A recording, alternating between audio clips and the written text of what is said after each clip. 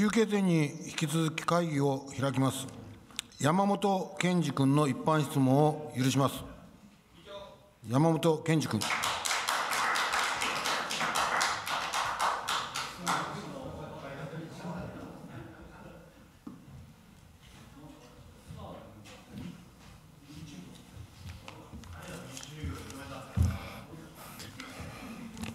よろしくお願いします。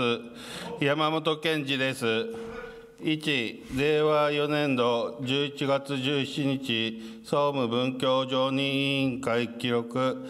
令和4年度の定期監査など結果を読み、職員の残業時間、賃金は適正か再度問う。1、副委員長に担当か、職員の名前を聞いて調べたかに上記下記で指摘されたかが違うから良いのかに当期の新潟両通航路の5時半あ5時30分両津発小金丸は運行できるようになるのか、えー、3地震時の室内避難所避難所内用具、避難路、情報伝達及び津波対策などを問う。4、著作物の無断使用による損害賠償2件について問う。5、党内美化運動について問う。以上、よろしくお願いします。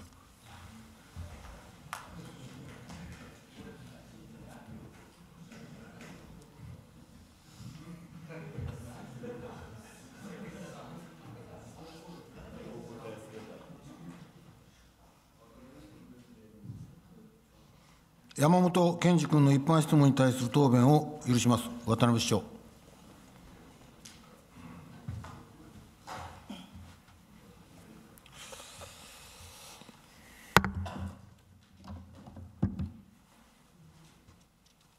はい、それでは山本議員の一般質問にあのお答えをさせていただきます。まあ、あの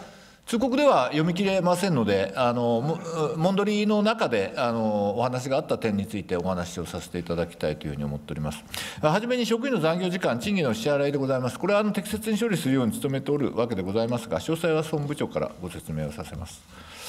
えー、続きまして、新潟両津航路のカーフェリーが、えー、5時半運航できできるようになるのかというお話でございます。あのこれ、過去にも何回もご説明したというふうに私は認識しておりますが、今年は、まあ、今年は特にですね、予期しない防減剤の工事があったということが一つ、最大の要因ではございますが、えー、船員不足の状況、また船員部屋の不足による宿泊施設が両津港にないこと、またあの運航中止基準である波の高さ3メートルで約欠航した場合、両津港の停泊につきましては、え、風向きによってはですね新潟港から来る船の欠航も呼び起こすことになります。えー、新潟港から来る船が両津港につけないという恐れがあるということでございます。えー、そういう点を含めて、やはり両津港でのあの長期での停泊というのは、現状難しいというふうに考えております。また、あのジェットオイルは今、あの小金丸と同程度の波の高さまでは運航できる、すなわち小金丸とジェットオイル、運航基準が基本的に同じでございます。えー、そういう点を考えますと、えー、市民の皆様の利便性を考えても、ジェットホイールを2等で往復ということで、え、先般、全員教育官も含めて議員の皆様にもお願い申し上げて、また、議員の皆様から意見をいただいて、え、7時、9時、両方がジェットホイール、往復が2等になるということで、えー、議論をしたところでございます。いずれにいたしましても、市民の皆様の利便性、ここ一番に考えながらですね、あの船の運航については、わ我々も考えてまいりたい、また佐渡市船とも協議してまいりたいと考えております。続きまして、地震時の各種対応でございますが、えー、佐渡市地域防災計画避難所運営マルニアに基づき、その規模や被害状況に応じて、災害対策本部を設置し、各種対策案を編成して対応しております。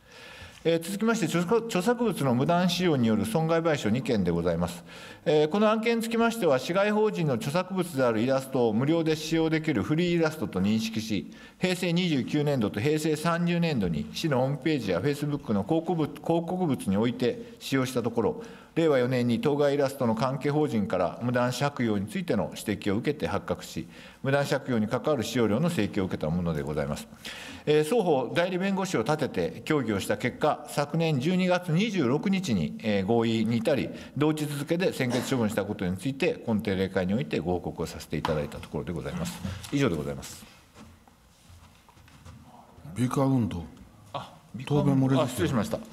えーっと、環境美化運動でございます。えー都内美化運動でございますが、世界遺産の島、美しい島の実現に向けて、令和6年度も5月のゴミゼロの日のほか、一日美化デー、佐渡クリーンナップなどを地域住民の皆様や企業、団体、市職員などからボランティアを広く募集し、実施していきたいと考えております。えー佐渡の美しい景観を守る活動、これはあの公だけではなくて、官民共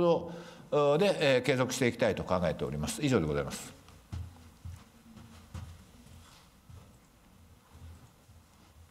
中川総務部長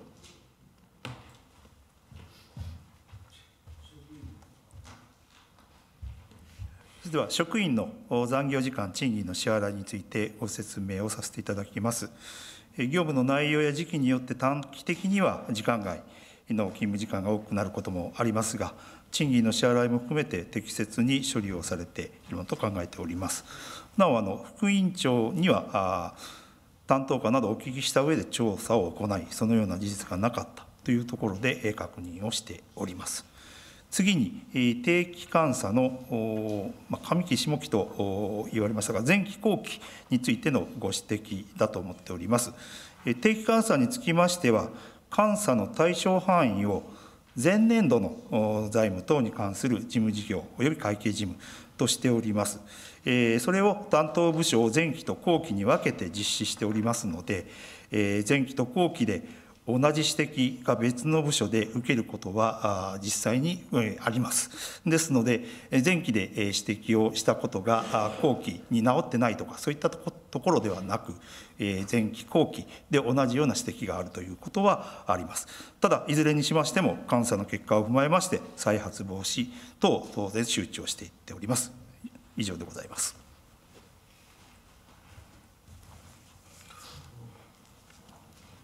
山本健二君えそんならあの続けて、えー聞きたいと思います。えー、と1か月ごとこうまとめて、えー、と残業のお時間とあのなんつうんだっけあのこの、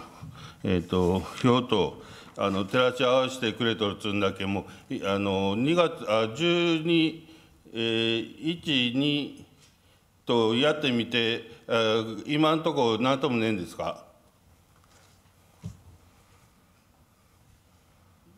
中川総務部長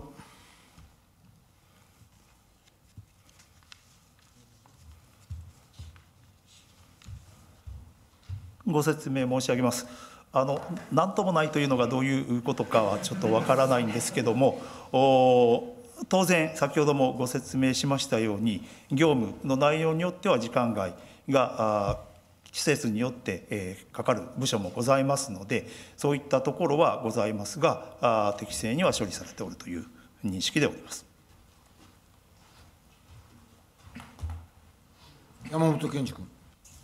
えーあの料金と,、えー、と時間の、うん、またいっぺんもろとるとかあ今度は払い足らんとかあそういうのはあったんだかどうだかあそれを伺いました中川総務部長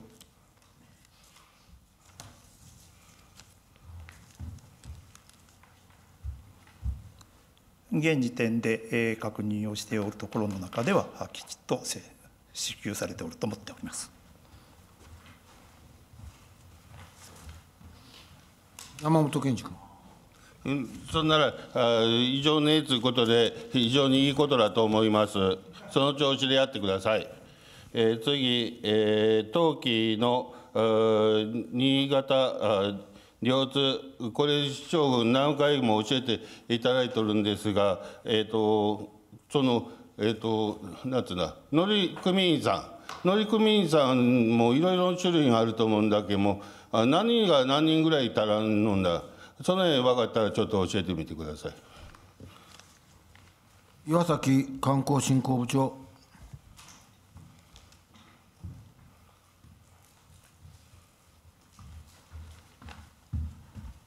はい、えー、ご説明いたします。えー小金丸の声援不足でございますが、まあ一概にその何人というよりも、さまざまな職種でえー休日出勤であるとか、えー時間外労働をして現在、えーお願いをしているという状況でございます。えー具体的にと言いますか、さまざまな職種で不足をしており、えー時間外勤務、休日外労働でえー対応せざるを得ない状況であるということで伺っております。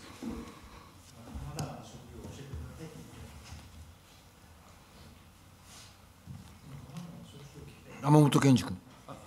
まあ、俺なんでこれ聞いたかずっというと一平ことこう YouTube 見てくれともおるつけん。あそんならちった宣伝になるかと思って聞いとるんだ。あの、ね、あの何人何人足らんだちょっと言うて返してください。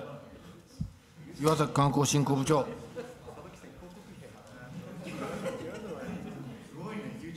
えーご説明いたします。えー佐渡汽船の方にも、えー確認しましたところ、具体的に、えー何名それぞれ不足しているということにつきましては、公表はしないということでございますので、あの私からの説明につきましても、えー差し控えさせていただきたいというふうに思っております。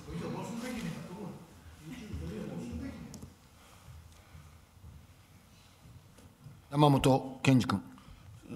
ということは、まあ、募集しとるけも、何何人っていうのは、募集要項もこう、あ豆見て、あまあ、うんと、勤めてくれる方おるかということをやっとるということだ。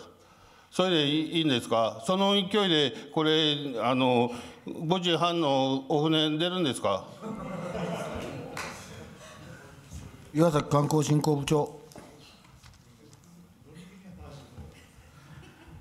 えーご説明いたします。えー5時半の、えー両チャーツの船が出ないということにつきましては、先ほどあの市長の方からも、えー答弁ございました。船員不足はまあ一つの理由でございます。えーその他、えーその小金丸の船の中に、えー船員部屋が不足をしているということでございます。船員の数に対して、あの船員が寝泊まりできる部屋の数が足りていないということでございます。で、えーそれで一方、あの両津港にはあの船員の宿泊施設がないということでございますので、えーそういったその船員の宿泊に対応できないということ、あともう一つ、あの市長の方から答弁ありました。えー仮に、えー小金丸が欠航した場合、まあ、新潟からの船が着船できない恐れがある、まあ、その後のえー船の就航にも影響が出るということを考えますと、えーなかなかその厳しいものがあるのかなというふうには考えております。以上でございます。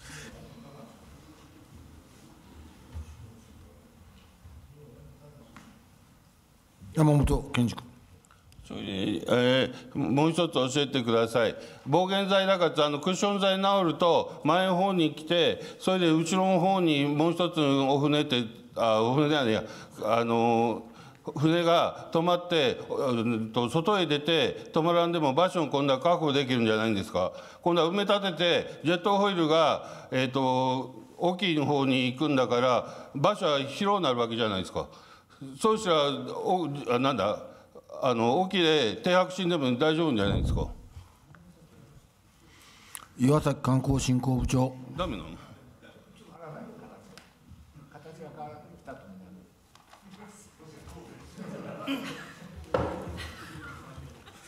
えーご説明いたします。あの防減剤の回収につきましては、2月16日に、えー回収の方終わったということで聞いておりますが、あくまでも防減剤を、えー回収することによって着船はできますが、結局のところ、えー本質的な問題ということにつきましては、解消ができない状況で、着船はできるということでございますので、あのあくまでもその5時発の要件が解消されたかというところまでは至っていないというところでございます。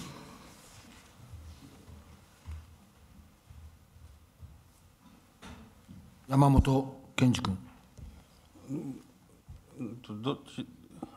ロッテンさんの方に止まっとるのがダメで、なんてうんですか、小佐渡側に止まっとるのがダメなんですか。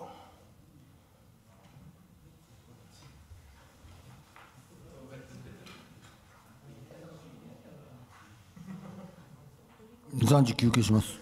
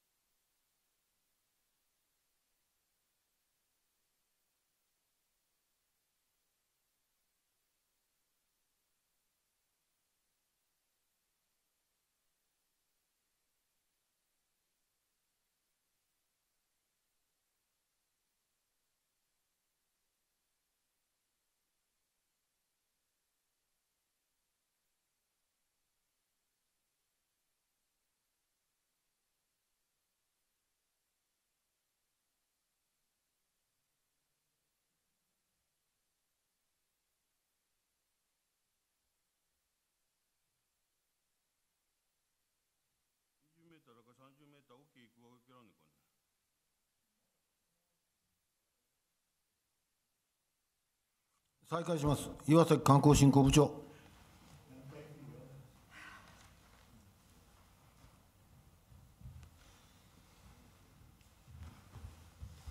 はい、えーご説明いたします。あの先ほど委員おっしゃられた、えー件につきまして、まあ、佐渡汽船の方では、あくまでも、えー今回の今の状況では、えー本質的な、えー状況については解消できないというふうに伺っておりますので、えー現在につきましては、やはりその、えー、小金丸の、えー両津発の、えー5時半発が難しいという要件の一つは解消されていないというふうに考えております。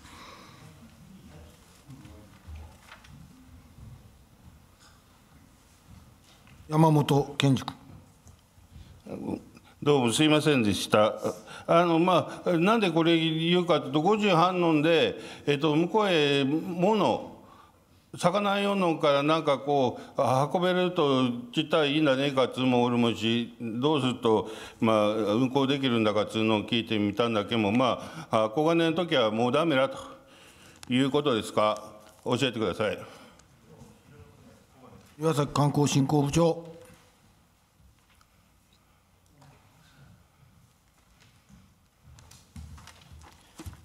はい、えーご説明いたします。えー現在あの小金丸につきましては欠航、まあ他の船もそうですが、やはりあの5時半が、えー出航しないということにつきまして、やはりその分の、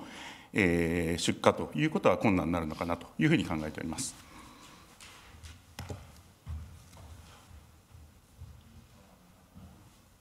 山本健二君。はい、えーまあ、なるべくできるように、また皆さんで考えて、なるべくあの5時半のあのカーフェリーという中、小金井走れるように、また考えてみてもらいたいと思います。えー次、えー地震、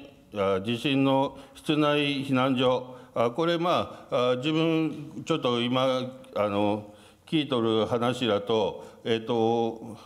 自分の生まれたところは避難所がすぐ室内避難所がすぐあるんですがえっ、となんだ高高崎とかちょっと離れたとこ行くと室内避難所がねえもんしあのこれちょっと困るなと。これなんかこうテントとかなんか代も代表質問だか時にもあの言うとったんだけどもそういうのはやっぱりまだこう用意しておくつわけにはいかないんでしょうか？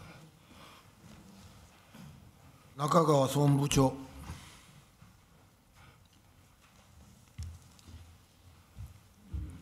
ご説明申し上げます。今回の津波の関係の避難につきましては、まずは高い場所というような形の中で、屋内、屋外にかかわらず、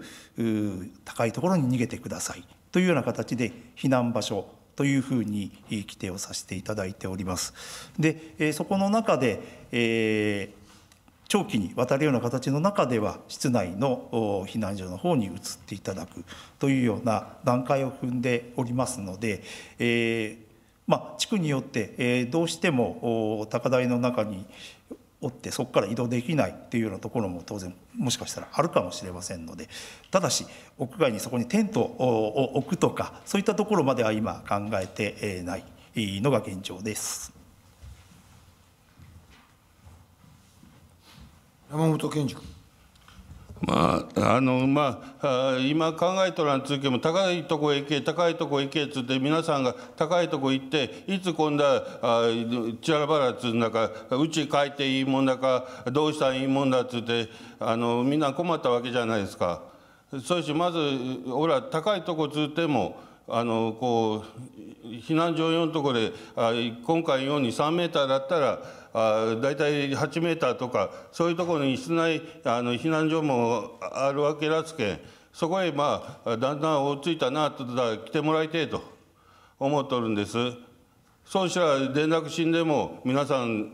安全にこう避難できるかと思っとるんです。そういうしそういうふうにしてやるにはテント4のんでこうあの避難場所っつうのをあちこちつうわけにはいかんだろうけも今回避難したとこにあ集落の方々と相談してここに室内避難所があるといいなっつうようなところにはそのしてできないかっつうのを伺っておりますできませんかね？中川総務部長。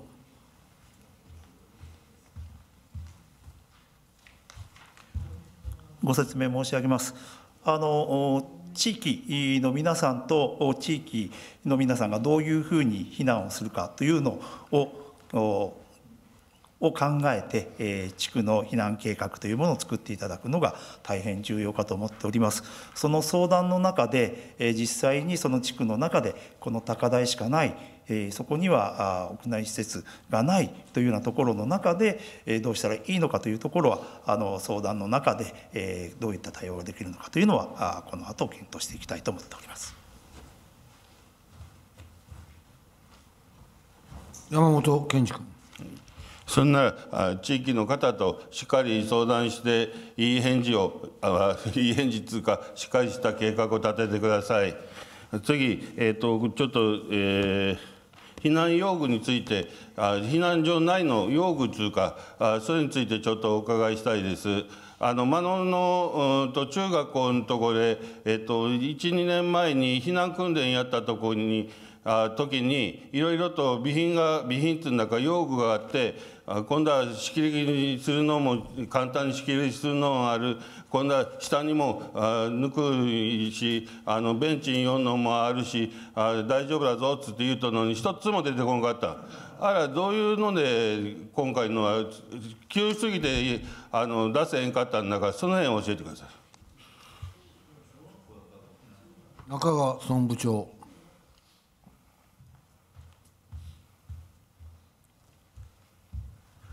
ご説明申し上げます。えー、備蓄の物品に関しましては、ある程度避難所が長期にわたるというような時にも必要なものが一緒に倉庫の中に入っております。ですので、えー、状況に応じまして、そういったものが必要であると判断した時点で、えー、活用します。あのあるものを全部いっぺんに最初から使うというところではなく、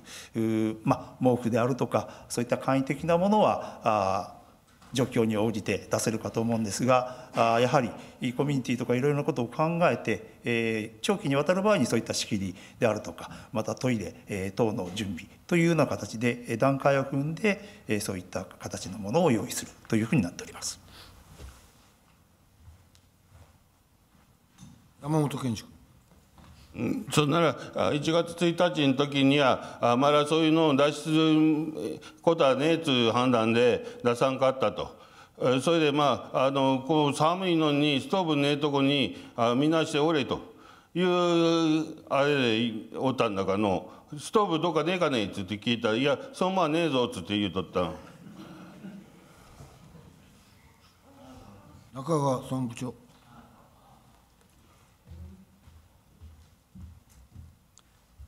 ご説明申し上げます。あのまあ、季節、時期に応じていろいろな対応が必要になってくるかと思います。えー、今回、まあ、1月1日というところだったので、えー、寒かったというところもございます。ただ、あそれについて、まあ、ストーブがあ近くになかったというところではございますが、あそれにつきまして、もし長期になるんであれば、あ他のところからの搬出をした中で対応するというふうになっておりますので、えその辺は時期的なものも加味した中で今後検討していきたいと思っております。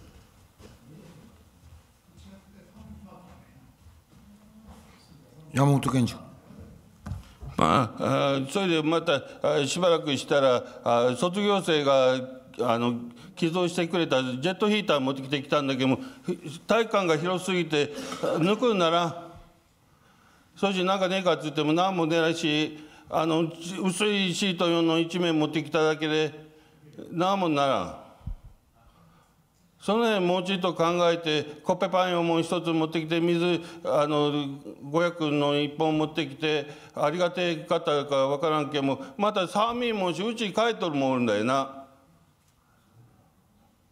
その辺もちょっと考えてあのちょっと対応していただきたかったんですがもそのようなのはあのなんつうんだここの2階には公園に集中しんかったんだからの。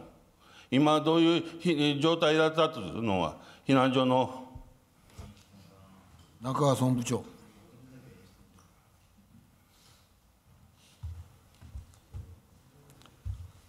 ご説明申し上げます。えーいろいろな場面でえーいろいろな対応が必要になってきます。えー午前中にもお話をしましたけれども、今回の地震の対応の中で避難所の対応、お気象サービスセンターあ関わったあところ、それから地域の皆さんに確認をしながら、あ今報告をいただいております。えーそこの中できちっと検証をして、えー課題を何かを把握して、えー解決するような形、今後に生かすような形で努めていきたいと思っております。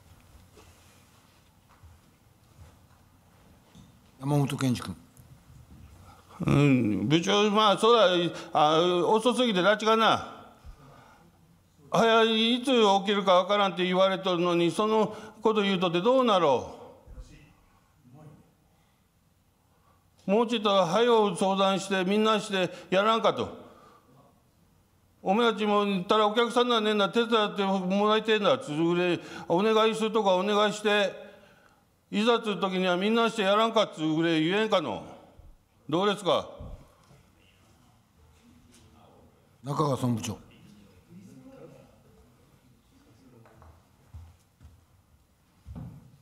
ご説明申し上げます。えー地域の皆さんにもお願いをした中で、えー早急に努め,、えー努めてまいりたいと思っております。山本健二君。もうちょっと本当にさどうなるっつうのをやっぱり考えてあのみんなして考えてあのやりたいと思います。よろしくお願いします。それでもう一つちょっと写真見てみてください。これがあの波返しっていうか防波堤のとこっていうかとこでこうあ隙間空いております。海岸のとこ。それを今こう本当は本当嘘だね。あまあ決まりだとこういうふうにして板でこう仕切っとかなんだそうです。常時それをこう考えあの皆さんあの散歩とか行くもんし取ってそれあの蓋してねえもんし津波も万が一来た時全然効果なしにダーッと来ると。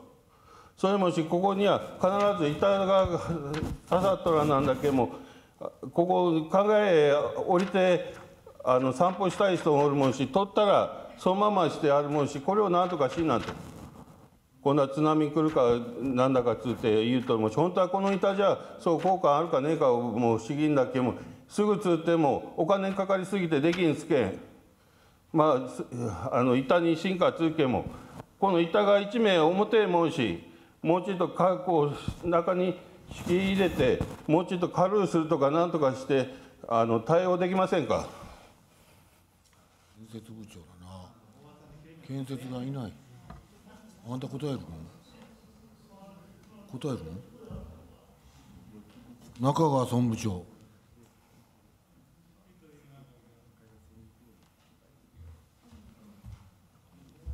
ご説明申し上げます。その件についてえーのお話、いわば承知しておりませんでしたので、えーきちっと戻って、えーこの後検討させていただきます。建設部長が知っとんなねえのんか。山本健二君。これはあのに中川さんが聞いとらんか知らんけんもあモンドリの時には言うてあるんだこれ。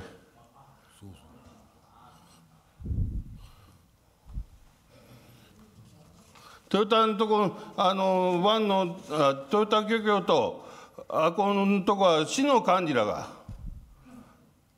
農水らが農水もなちに知っとるんだ俺お願いしとるんだそのね、えーお願いしますじゃ。みんなして考えてあのみんなこうあの海岸へ降りて散歩したいもんもおるしボランティアでゴミ拾いしたい人もおるんだからこのしていつもまたオープンだとまた困るんだから板作こうやってやるようにするのが建前だそうだしそのように皆さんでできるように知恵出しようってお願いします。いかがでしょうか？どうする？呼ぶ？呼ばない？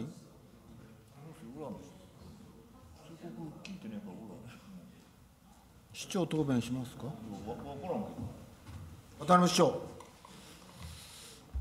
はいあのまあ、一般質問の中であの通告あったのは議論してくるんですが、私自身も全く聞いておりません。でそういう状況ですので、あのしっかりとあの豊田なんですね。あの豊田の漁港エリアということで、はい、分かりました。あのそこにつきましては、あ今日しっかりとまた対策を含めてどのようにしていくか、またあの地域とあのおっしゃる地域と地域の方も開けて利用しているわけでございますので、逆に地域とどうしてそうなったかを含めて議論していかなければいけないと思いますので、また地域とあのいろんな形で話をささせていただきながら、えー、一番いい方法を考えていくということで取り組んでまいります。山本健二君。市長もまあそう言ってくれるんだけどもあの建前というかこれ開けたのが市の説明だとあの集落要望つうんだかで言っとるんだそうです開けとるんだそうです。そういうしこれ閉めて送るのが本当にそういうふうに決まっとったかどうだか古すぎてわからんだって。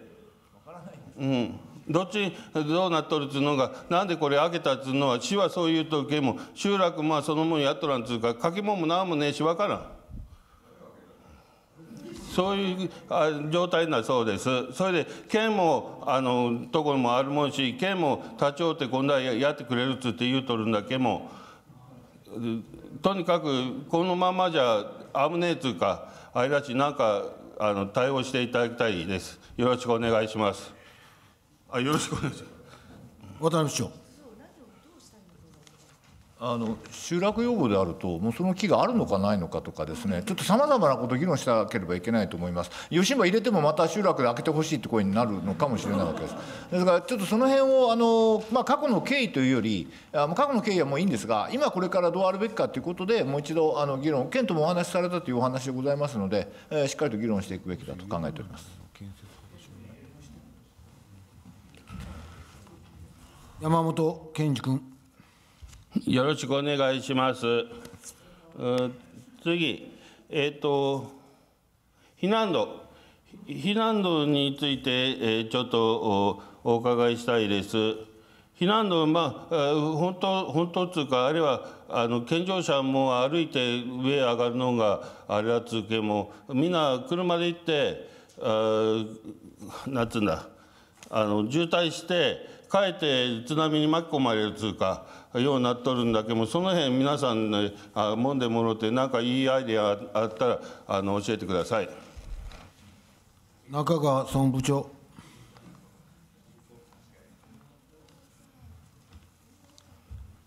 ご説明申し上げます。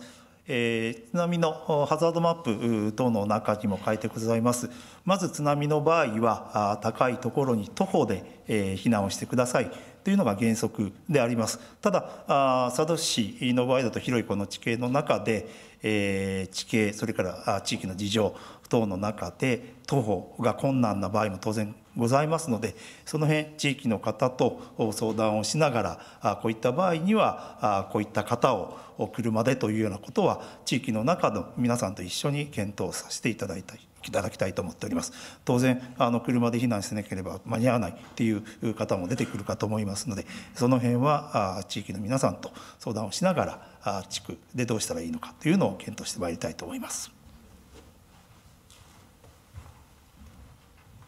山本健二君。まあ、みんなしてあのいいアイデアを出してなんとか早くこう避難できるように対策を練っていただきたいと思います。えー、次あちょっと、えー、津波対応っつうんですかでこれやったんだっけももう一つあの備蓄のでちょっと書いてねえけもちっとあの言いたいんだけもこうあの備蓄のあのなんつうんだっけ品物をあの子供さんたちを抱っこしてあのいるものを持ってそれで避難するっていうのも大変だし避難所のとこにその備蓄するあ備蓄らねや避難具を置くような場所をあの作ってもらえるかどうかと思っとるんですけどもそれからえっ、ー、とよなんだえっ、ー、とあの施設に入っとる方たちは10人とか20人とかでこう移動するもんしあの沢田であったそうなんですが毛布10名くれ15名くれっつうとなんであんた一人だけであのその10名も15名もいるんだっつって言われて。ちょっともらいづれいつもしその施設の人たちの分はもうその避難するというとこはもう大体決まっとるんだしそういう場所を確保してあの用意しておいてやるもんだかと思っております。それから今、えー、となんだあのアトピーだかなんだ食べ物合わんようのもあのあるすけんそういうのも聞いて置く場所をこうできんかなと思ってるんですがその辺どうでしょうかね？中川総務部長。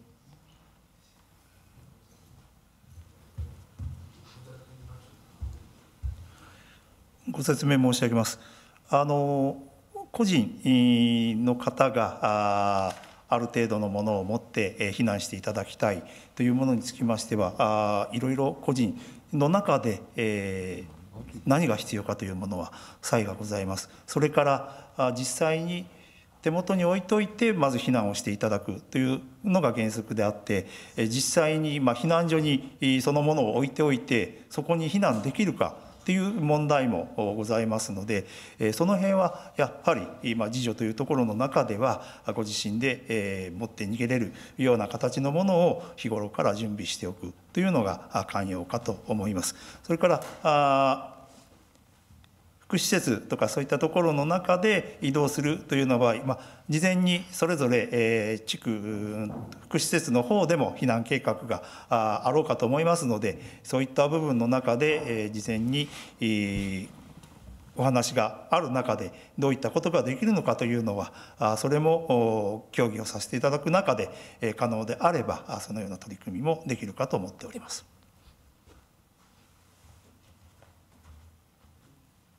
山本健二君。そんならあ協議という中しっかり関係しとる方と話し合っていいあのようにしていただきたいと思います。よろしくお願いします。えーと、次著作物の無断使用この、えー、損害賠償についてお伺いします。これあのこうイラスト4のを勝手に使うてあのお金をあの払えっつって言うてきたっつうのはいつ頃言うてきとるんだかそれをちょっと教えてください。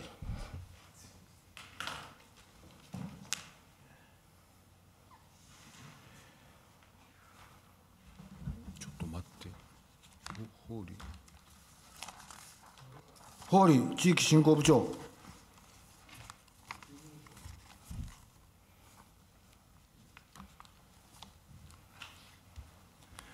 はい、ご説明いたします。えー、令和4年、えー、7月26日付でですね、えーと、先方の会社から、えー、当該イラストの入手経路や使用期間についての確認文書というものが最初に届きました。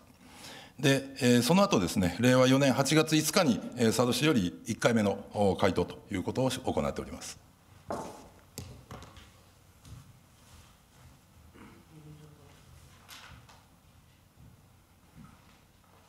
山本健二君。えーと、4年の7月26日に相手方から言われて、えー、それで、えーと、8月5日まで市の方で相談しとるつんだかしとるつんですがこの間にあの議員に、まあ、こういうことがあったんだがこういうイラストが出たんだが問題に出たんだがどうらな14のこう提供っつうんですか情報提供っつうのはできんかったもんでしょうか？中川総務部長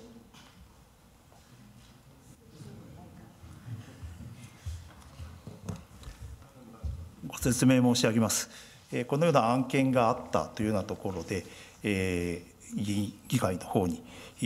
その都度情報を提供しているということは今までもやっておりません。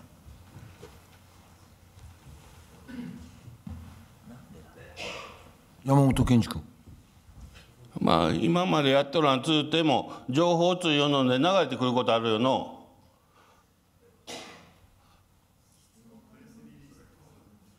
俺なんでこれ聞くかっつうと後からどういうのであれんだっつって聞いてももう決まって済んどるし俺たち見ただけで早お金発生するしあの教えれんって言うとるもんし前もってなんつうんだあここのこれ隠れとるもんし向こうも騙してってやってるもんしなかなか分からんぞっつって言うとそれを確認してと思っとんだよ。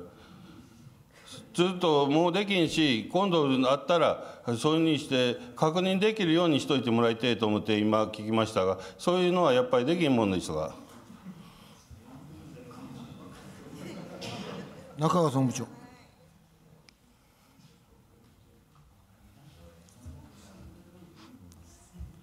ご説明申し上げます。あのそのような形の中で佐渡市の方では顧問弁護士がおりまして弁護士と相談をしてやっております。で今までについてもその後どのような形が確定裁判になるとかいろいろなケースがございますのでその状況が分かった段階で議会の方にご説明をさせていただいております。堀部長なんか答弁したいの？大丈夫？山本健二君。まあ、あ今なってあこれ言うてももうダメだっつうしあれだけもう俺に言いてえのはこうやってみんな職員で1から10まで細けいとこまで本当は確認してこれは無料飲んだっつうのをあ認識して本当は使わないのを細けいとこまでチェックしへんかったのだかどうだかっつうのをあ知りてかったんだけどもそれはもうできんっつうわけだ今の状態だと。そういうもんしなんであずっとそれだけ能力がねえということを言うとるんだかどうだかっつうのを聞きてんのや職員が。渡辺市長あの今回の件はあの全球会でも申し上げた通り複数の事案がございますで過去に遡ってえー、向こうから、えー、請求があったということ。そして議会に説明できないのは、えー、裁判を含めてですね、えー、弁護士同士がきっちり話し合いしているときに、えー、情報を我々以外に出すことは明確にできません。またあの出かないケースは例えばプライバシーの問題があるとか、えー、そういうケースもきちっと確定をするまでは報告をしておりません、えー、これはあの議会議員の皆様に、えー、情報を伝える一つの私大事なルールだというふうに考えております。でこれを取りながらですが職員の問題につきましては、えー、今回かなりですね、えーまあ、難しいといいますか、えー、通常の画面を見てチェックをしている限りでは、えー、無料に見えるそのようなあのホームページだったというふうに考えております、えー、そういう点で多くの中で、えー、取り組んでおりました、えー、ただこれにつきましては、えー、現実この詳細をすべて見てやるというのはあの契約条項どのような書き方してあるか分かりませんので基本的に不可能だと思いますので、えー、現在はもうあのホームページ等から無料って書いてあってもホームページ等の素材は使わないということで徹底をしているということでございます。山本健二君。まあ、もうこうなると自分たちに今度はどういう状態だったかっていうのも確認できるのが俺どうだなと思っとるんですよ。やっぱりこう30何万も市民の順を使うて済んで「俺らちゃ知らんじゃ」これただあのイラストなんだ勝手に使うたんだっすけ30何万払んだつわっつうて納得するもんおるかっつうことだ。その他に弁護士費用で12万だか使うとるつんあそんなそういうのでいいんだかっつうことを今度は聞かれた時あ納得するもんおるかっつうことだ。俺そこに今度はしっかりいやそうだねえんだ俺たちも見たけもあこれはちょっと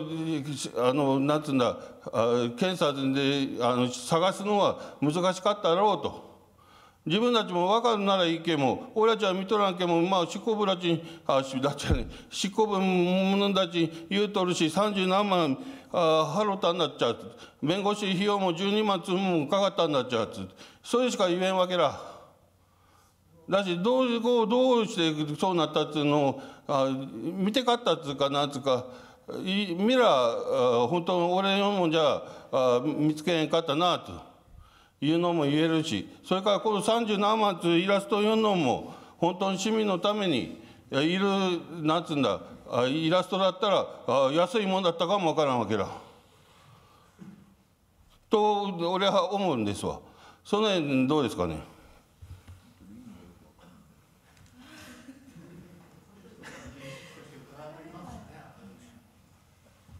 中川総務部長。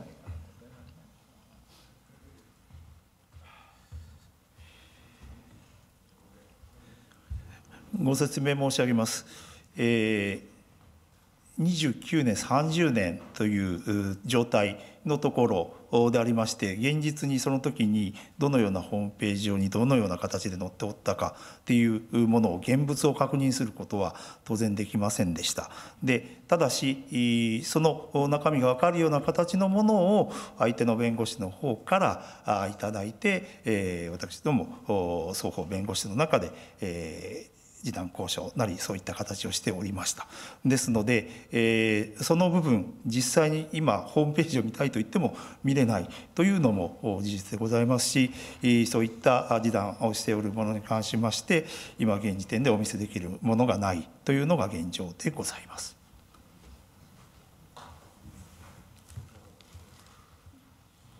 山本健二君。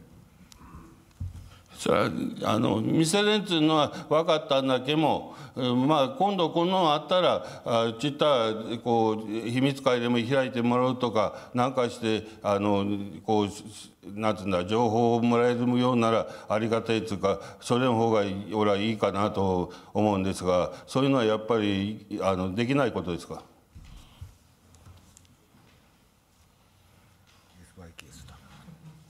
中川総務部長。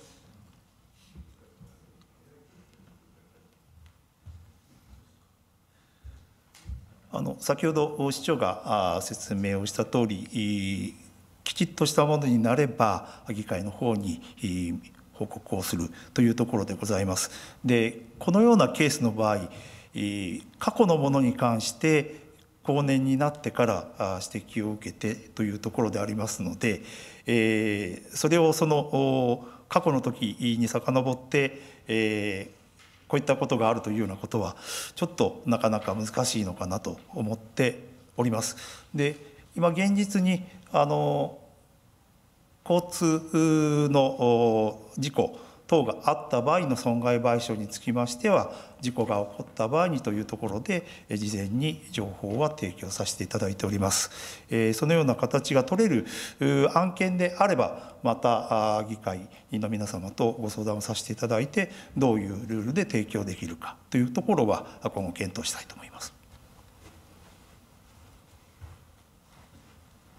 山本健二君。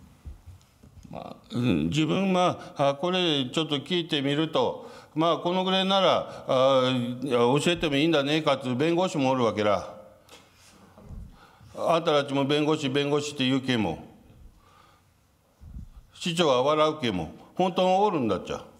俺に聞きに行ったら。俺聞きに行ったんだ。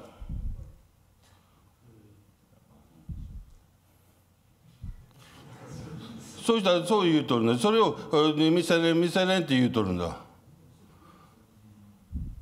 だしこういうことあったらやっぱりのあの議員にはあこれこれこうらちあ三十何万も皆さん全員使うけも使うか分からんけもあででずぐれちと言うとかんとあ後から説明しようねんねかね見とらせも見見たようにして言うしかねえんだじゃ。そして今度はこういうことあったらちょっと考えてもらってちょっと教えてもらえるようにあの心がけていただきたいと思いますいかがですか？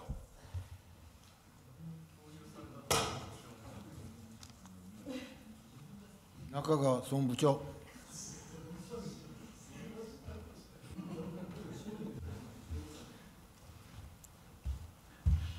説明申し上げます。今回の件もその額の確定としたのが12月の26日というところでございます。で、その額につきましても、50万以下というところの中で専決処分ができるという規定の中で今回議会の方に報告という形で報告をさせていただいております。えそのような形で、えもっと早くできるかっていうことは別にしまして、え公表できる段階の中で報告をさせていただいておりますので、えーその辺に関しましては、あこの後どういったケースが出てくるか分かりませんけども、お現時点でのルールにのっとって、えー報告をさせていただきたいと思います。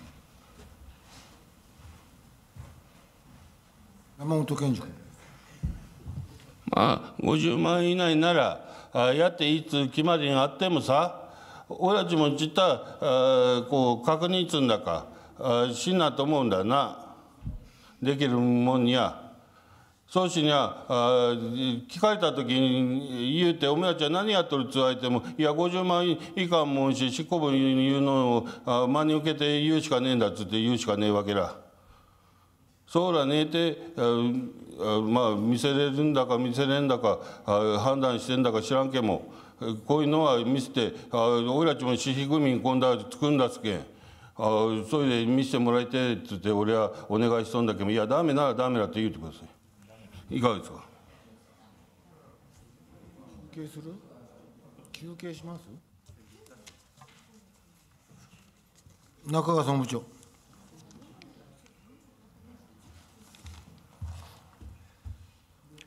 ご説明申し上げます。今現時点のルールの中でやらさせていただきたいと思います。あのこの後どういった形が出てくるかもしれませんけども、お見せれないものは見せれないというところでございます。山本健二君。まあそんなそれでまたちょっと考えてみます。えー、次、えー、党内美化運動についてと、えー、今市長を言うてくれたのは今度はボランティアを少しはこうあの集めて今度はしっかりやってくれるということを言うてくれたんだと思うけども大体どのぐらいの回数回数言うとまた一平だとあれだとか言うか知らんけも大体どういう感じでやるようになるんだそれを教えてください金子市民生活部長。えー、全党的にですね 市民にお声かけをするのがゴミゼロの日、えー、それから佐渡クリーンアップ2回、えー、年間を通して現,、えー現えー、現在ですね3回、えー、市民の方にお願いしたいというふうに考えております山本健二君。3回、まあ、やってもろってこう今までやって、えーと、今まで何回やったら2回やってくれと続けも何人ぐらい、まあ、集まって3人か3回やると何人ぐらいこう集まるというのは出ますかの？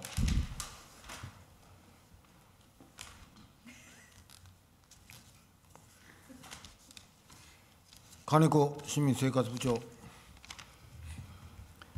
はいえー、令和4年度でですね約9200人延べですね、えー、参加していただいております。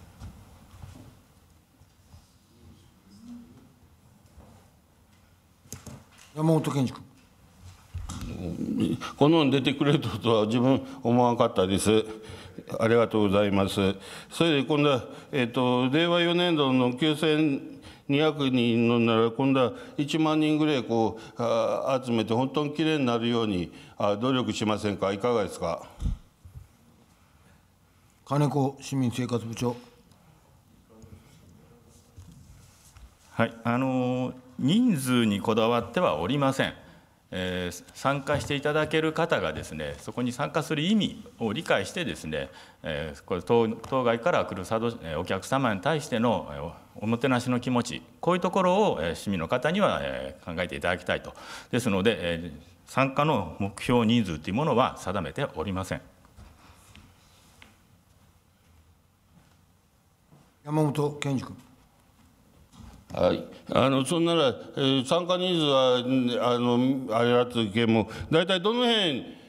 ー、集中的にやるとかあはありますか？金子市民生活部長。はい、あのそれぞれのですね清掃の中でその時期ですね一番いいところということで基本的にはあの師匠サービスセンターそれぞれの地域を把握しておりますのでそちらで選定をしております。で場所についてはですね私たち行政の方では目の届かないところでですね地域からお声が上がればですねその中の状況を確認してですね最適な場所ということで選定していきたいと思います。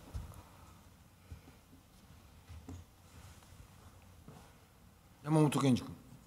最後に、えー、市長にお伺いしたいんですが、今度、うん、とパリだか行ってあの世界遺産のあのなんだあのなんつうか認定のあれをやってくれるって言って一回行ってあのあの宣伝してくれてあれパリっていうところ行ったことねえもんしちょっとお伺いしたいんですがパリのこう街っつうかと佐渡の街とどっちに綺麗ですか？渡辺市長。